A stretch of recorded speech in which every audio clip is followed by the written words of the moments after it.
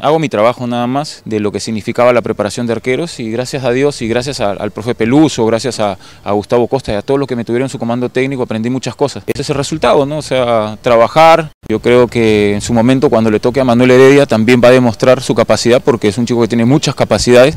Cuando lo vean eh, se van a dar cuenta. Él ha tenido oportunidades el año pasado, una que otra, no muchas, pero en las que le tocó respondió